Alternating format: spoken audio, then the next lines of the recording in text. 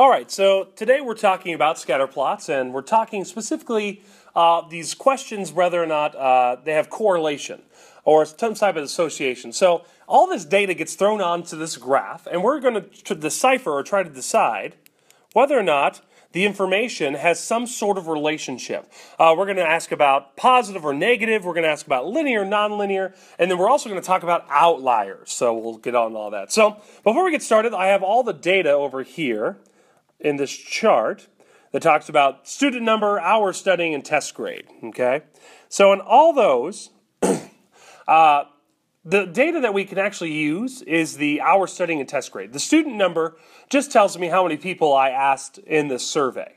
So I don't need this column when I do my work. So all I need to worry about is hours studying and test grade. Now, it's really nice on this worksheet. Notice how our studying is on the x-axis down here. So x and x, okay. And we see the test grade in percent in percentage is on the y-axis, so we'll put y's there. and because of modern technology, let's go ahead and speed right quick uh, all the data that needs to be on there. So there's all the data I need. It's all right there for us so that we can look at it. Now, taking a look, what type of association is shown? So looking at all of those dots, it looks like most of them are right there, right? There's that one guy on the outside, but for the most part, what's the trend with these dots? It seems like it's going up, right? Or it's positive, okay?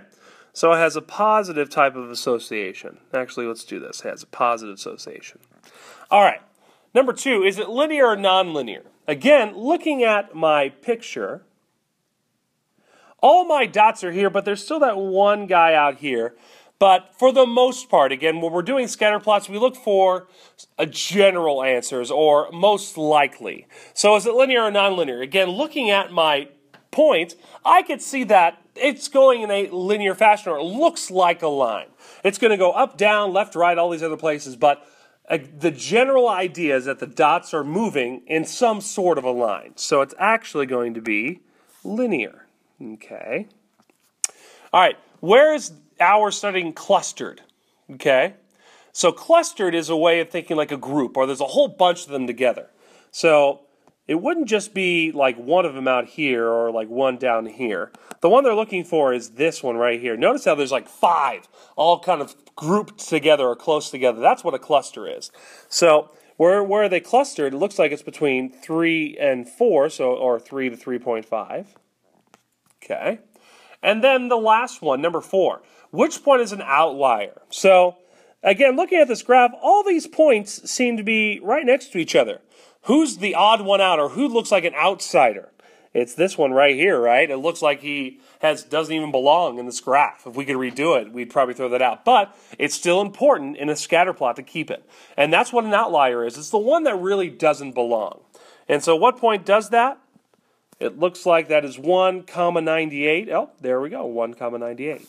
So that is how you read and you put the data from a table into a chart, and then you look at those things. So remember, positive means it's going up from left to right. Linear means all the dots are moving in some sort of line or linear fashion. Uh, cluster means a group of them together.